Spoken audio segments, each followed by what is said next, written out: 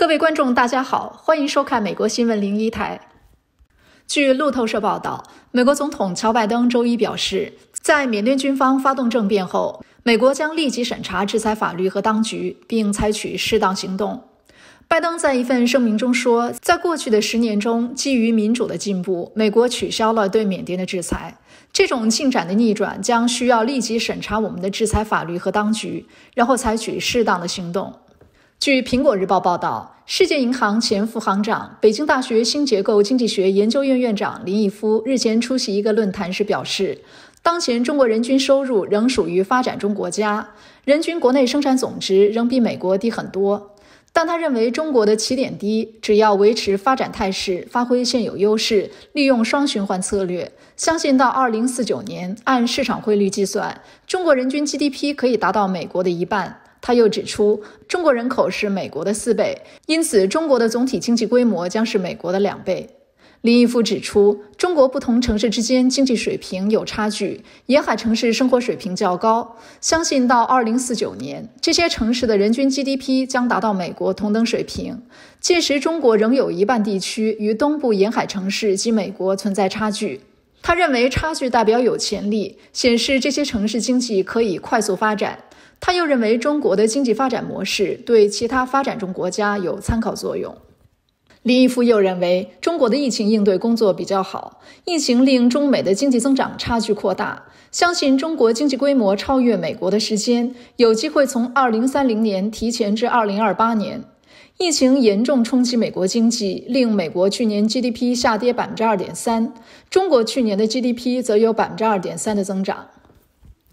据美联社等媒体报道，美国总统拜登周一将与十名共和党参议员会面。这十位共和党参议员提出公布总金额为六千亿的纾困案，取代总统拜登推荐的一点九万亿版本。此举对一直在公开场合呼吁国家团结、自诩善于斡旋两党调和协议的拜登而言，无疑是一个考验。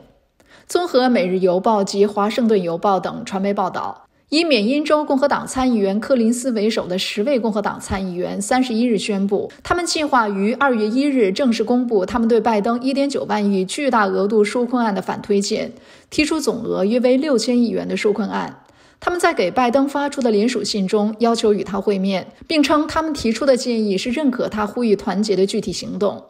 这十位参议员在联署信中写道。我们希望与你和你的政府真诚合作，以应对新冠疫情危机带来的健康、经济和社会挑战。据报道，共和党人这个新提案删除了共和党反对的某些内容，如将联邦最低时薪提高到十五元，还将拜登推荐给合资格民众每人再发一千四百元纾困支票的金额降低至一千元，同时大幅收紧获得资助人士的资格。只有个人年收入五万元或以下、夫妻年收入十万或以下的人士才可获发。新提案还推荐将拜登提议的联邦每周四百元的失业津贴恢复至三百元，同时将拜登提出的该福利延长至九月，缩短至六月。白宫新闻秘书詹普萨基周日表示，拜登已与柯林斯进行了交谈。尽管拜登希望全面交换意见，但普萨基重申，总统仍然支持继续推进意义深远的救助方案。据路透社报道，白宫前高级顾问、美国前总统的女婿贾里德·库什纳与其副手、美国中东特使艾维·贝尔科维兹获诺贝尔和平奖提名，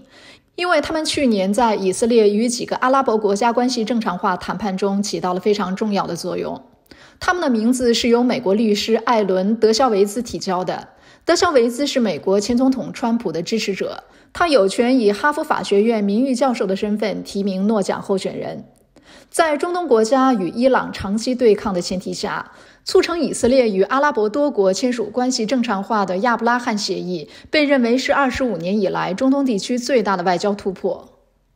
据美国之音报道，台湾国防部网站即时军事动态栏目公布，中国军机运八反潜机一架次进入台湾西南空域，台空军派遣空中巡逻队兵力应对，广播驱散，防空飞弹追歼。同一天，共有三架次美国军机也出现在周边空域，其中侦察机二架次，加油机一架次。另据台湾国防部一月三十日首次针对美国军机进行披露，当天有六架中国战机和一架美国侦察机进入台湾西南防空识别区。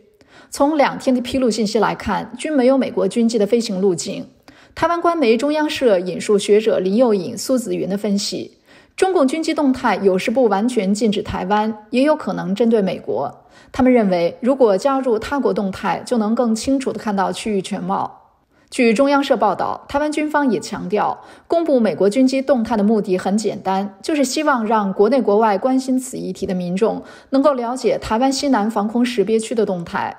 据台湾军方说，公布美军机的动态也让此区域的状态更加清楚，并无其他特殊用意，因为台湾当局面对中共的威胁并未有所改变。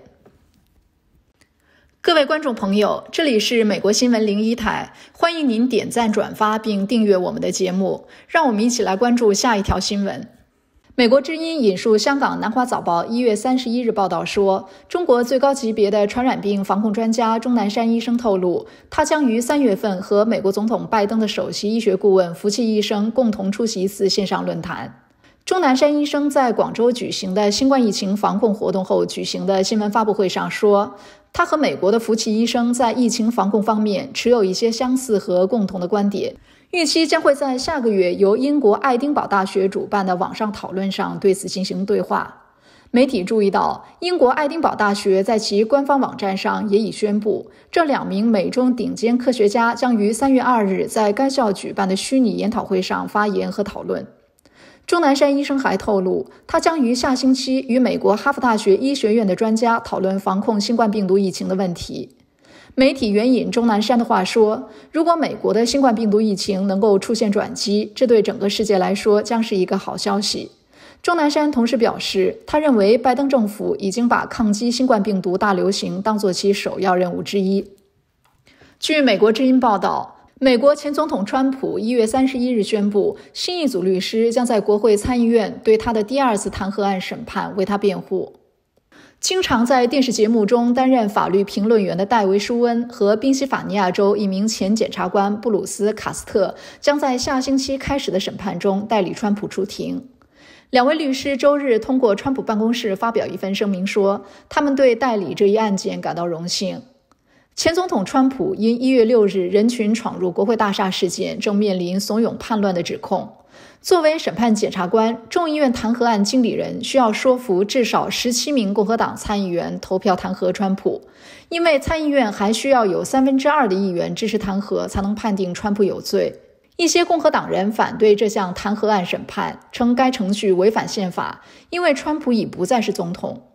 川普是第一位被两次弹劾的美国总统。去年，他因滥用权力和阻碍国会运作的指控第一次被弹劾，但参议院判定他无罪。据《星岛日报》消息，多名共和党消息人士表示，前副总统彭斯将在不久后筹组非营利性质的筹款委员会，为2024年问鼎白宫铺路。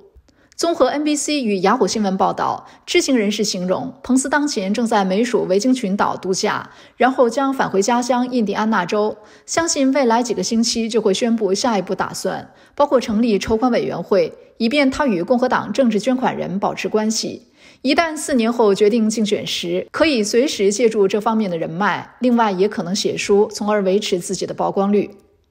消息透露，彭斯构思中的委员会属于慈善性质。可以环绕某项政治议题展开倡议行动，捐款来源也可以保密，只是不能为特定人士助选。由于川普也暗示会再次竞选，他与彭斯两人之间的交互受人关注。在川普执政四年来，彭斯一直保持忠心耿耿的形象，但两人的关系在一月六日的冲击国会事件后开始变质。国会正对川普发起二次弹劾。外界不排除民主党可能传召彭斯做供，或者去向国会提交声明。分析相信，彭斯即使接到传召，也会以行政特权为由拒绝做供，但他的幕僚未必能以此做挡箭牌。另一个关注焦点在于两年后的国会中期选举。川普曾扬言报复这次背叛他的党内议员，彭斯会否为这些议员背书而与川普对峙，也是政坛观察的重点。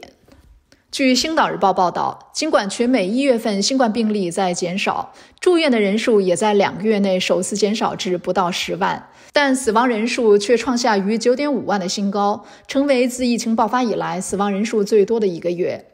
综合 CNN 及《纽约时报》报道，约翰霍普金斯大学的统计显示，一月份共有逾九万五千二百四十五人死于这种病毒，远超十二月时的七万七千四百八十六人。新冠病毒迄今在美国已导致至少四十四万一千二百八十二人死亡。统计还显示，到一月三十一日，全美感染新冠病毒的个案超过二千六百二十万宗。好消息是，当前住院人数比一月初的创纪录高峰时大幅减少，每天的检测人数和阳性检测率也在减少。这些趋势证实了感染速度正在放慢。不过，过去七天的平均每天死亡人数仍然超过三千人，相比去年九月及十月，每天死亡的人数少于一千人。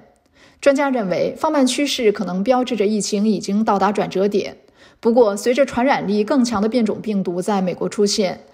如果这些变种病毒在美国扎根，而全国疫苗接种计划开展不顺利，则有可能使疫情再度反弹，感染个案将再创新高。新冠病毒跟踪计划的数据显示，时至三十日，新冠住院患者共有九点七万，这是住院人数自十二月一日以来首次低于十万。但七天的平均每天感染新个案仍与十二月一日时持平。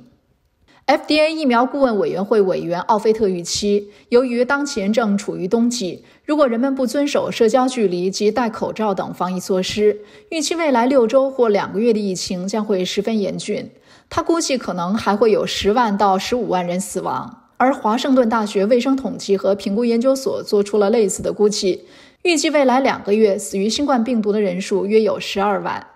健康专家再三敦促人们严格遵守戴口罩及保持社交距离等防疫措施。由疫情防控中心发出的规定，两岁以上的人在乘坐公共交通工具时一定要戴口罩的新命令，将于二月一日晚间开始实施。综合媒体报道，美国纽约出现继二零一六年一月以来最严重的大雪，市长白思豪周日晚宣布进入紧急状态，封闭多条道路。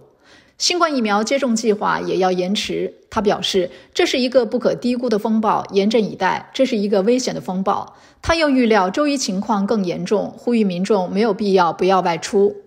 国家气象局气象学家古德曼预料将会有几场大雪，一场会在天光时降下，接着一场会在临近中午，而后一场会在黄昏。预测周二晚积雪会超过半米。所有国营疫苗接种地点的预约都会顺延。有关人士会收到电邮或讯息通讯改期。医院的新冠疫情检测中心会继续开放，其他临时检测地点都关闭。部分提供检测的私营诊所会更改营业时间，部分铁路服务会停止运作或减少班次。感谢观看今天的美国新闻零一台，请点赞订阅。